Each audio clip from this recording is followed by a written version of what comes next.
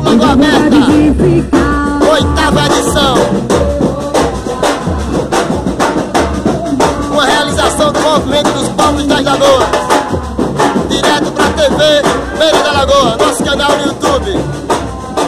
Exercitando um outro olhar, um novo olhar, um olhar de quem está à margem da sociedade, quem está na beira da lagoa.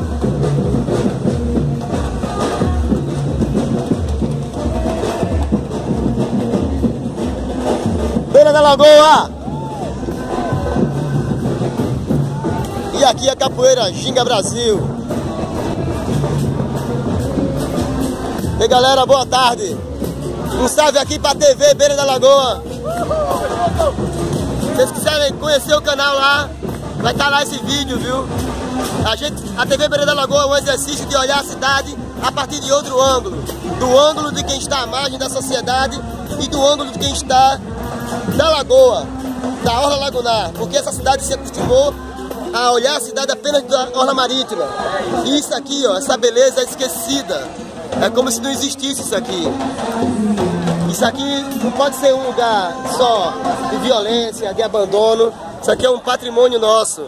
E nós vamos lutar para resgatar isso aqui. Orquestra da Guarda Municipal de Maceió, sempre presente, grande parceira. Direto para a TV Beira da Lagoa, viu gente, aqui. Mostrando que a gente tem é, a Aula Lagunar. Eu digo que a TV Beira da Lagoa ela é um exercício de um olhar, olhar a cidade por outro ângulo. Porque a gente só olha a cidade da praia para o resto. E a gente vai começar isso aqui, olhar isso aqui, né? Esse aqui é o nosso desafio. Pensar a cidade de Maceió a partir da Orla Lagunar, a partir do povo da Lagoa, que foi esquecido, que é até Alagoas, mas parece que a Lagoa não faz parte das Alagoas, né? Ninguém fala da Lagoa, né?